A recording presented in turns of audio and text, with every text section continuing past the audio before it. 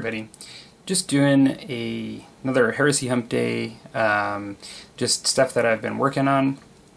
Um, I uh, first I'll just mention um, I've got this sort of board here, um, or this this this piece on my hobby desk, and I can't really show it really easily on camera the whole thing, but I'll just sort of show it. I just made myself a little painting station out of plywood. Um, I was initially looking at these um, and uh, just buying one out of MDF or something like something like. I was looking at the painting stands too that you put your paints in, and um, for whatever reason, I just felt um, I've got all this scrap plywood. It's the same stuff that I made my marble board out of, and so I just put this together with my table saw and glue and plywood, and just gave it two coats of polyurethane. And I just the reason I I have a hobby room, but the reason I made this is my hobby room's in the basement, and actually quite far down like a hall, like away from civilization in my house, and um, I watch two kids in the evening, and um, it's just a lot easier for me to have something like this sometimes to be able to just bring it up in the evening and paint while there's all kinds of activity going on in the house, and I'm not really far from it. And so, because uh, otherwise I really don't paint as much. Um, in the evenings when I'm watching them, if, if that's the case. And so, yeah, I'm kind of happy with it, and I'm just leaving it on my hobby desk right now um, at the moment. I think particularly when I'm batch painting, this is going to be useful. I think when I'm doing character models and stuff, I'm you know, just it's when I really need to kind of put in hours of just doing the same thing over and over again that I think it's going to be helpful. Um, I've got um, some base paint on my um, French. Um, I always have trouble remembering the um, the name of the of the French that uh, that I chose for the um, French Indian War. Um, I actually have it uh, referenced all over the place on images that I've picked up, um, but um, it starts with an L, um, and the reason I chose them was that they ended up there's a lot of white and blue in their color scheme. Now, you might say that's all of French, but when you look at some of the different um, regiments in the French Indian War, um, not all of them um, are just blue and white primarily. I mean, some of them actually have quite a bit of other. Um, and I actually have the name here. They're the Languedoc, L A N G U E D O C.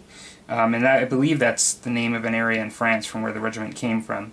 They have um, some gold trim and brass and buttons and things, but they're primarily blue and white, and that's really what I wanted. Um, it matches kind of the Marine French Marines, even though they they don't need to, because the French Marines, uh, Canadian Marines that uh, I have weren't necessarily from the same regiment, but that's also going to be the flag that I get um, from GMB. Uh, flags to, to use for this. And so I actually like, it's kind of nice, it's just primarily blue and white, and um, there's not as much red, like some of them have red and things. Now, the drummer um, ends up having a, a, lot of blue and red, and almost a, it almost looks like a completely different paint scheme. So I'm wait, I waited and didn't do really anything on the drummer, the musician. Um, but uh, but yeah, like I still have a lot of cleaning up to do, and I still have um, some washes to do and the base and, and stuff. But I I got a lot of headway because one I've been really itching to work on these guys. I really like these miniatures, and I can't wait to use them on the table. But two. Um, October starts Spooky Oktoberfest and other things I want to do, and, and so I knew I was staring down a number of miniatures to get done in a short period of time. This may creep a little bit into the first couple of days of October because I still have to do, um, I want to do the officer, you know, the officer I'm doing mostly the same, but there are some differences, and I still have to do sort of the um, bridle stuff for the horse and the horse itself.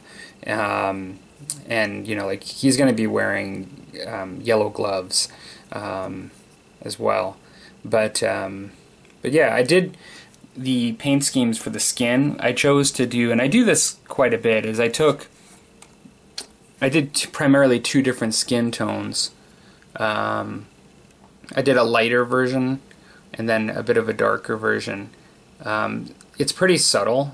Let me see if I grab the right two. Yeah, you, they are actually, um, and I think after the wash it'll be noticeable too, but th this one is considerably lighter skinned.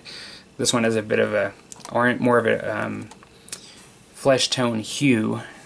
Um, than the other. And so I did that and I kind of split them in half. And I usually do that. And sometimes depending on the force, like my Screaming Eagles for bolt action, I split them into three actually. Uh, and so yeah, um, that's primarily what I'm working on right now. Um, likely the British stragglers that I have to do for my um, grenadiers. Potentially a drummer, but I would like to get the drummer done, even though he hasn't been started yet. But the limber, my British grenadiers, and my artillery for the French are gonna come at a later time, um, likely after October. I'll probably um, be doing the drummer and finishing these guys off um, before I start my October projects. Um, and so yeah, that's kind of what I'm doing for historical right now. Really enjoying it. Told you about the board that I kind of put together over the weekend. Just this tray. And uh, sorry, my tripod's really old and it's starting to get a little jerky. it's not as smooth as it used to be. Um, other thing I have, just while I've been waiting things for things to dry and things like that, is um, I have uh, this guy, which you can see some of the detail a little bit better now that he's um, black. Um, but I have this guy primed, ready to go um, for Spooky Oktoberfest. I did have him fall over when I was actually priming, and this snapped. Um, completely snapped. It is meant to be joined, um, this major part of the blade at the hilt, so it's a piece you stick in. It comes as two separate pieces, so it just fell and snapped. So it was an easy repin. Um, probably should have did that to begin with. I, I probably should have pinned this. Um, it may have still had a problem anyway because this this is still fairly thin. Um, it's not that you know this doesn't it, it, it is a top heavy model.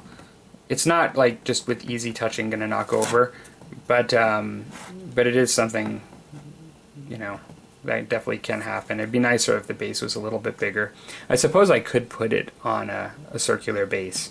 Maybe I will. Give it a little bit more stability I'm not really sure the only other thing I did and just this is just constant work in progress is whatever. But this guy's done, ready for paint, and I'll likely do this guy among, while I'm working on other projects. But I primed him, which is kind of cool. It's really neat to see it all one color, um, just because it gives it that sort of. Um, it gives you the impression of a finished product to paint. You get to see it all in one monotone color, which is really cool. I'm really kind of happy with this. So I'm going to paint this guy up um, get them ready for the Knight and because um, that'll be happening uh, amongst these projects painting the Knight um, likely after October. Um, but uh, yeah. So that's really cool as well. And that's really it. That's what I've been working on. Um, nothing really else to show. Um, and I hope you guys are having a good week. Take care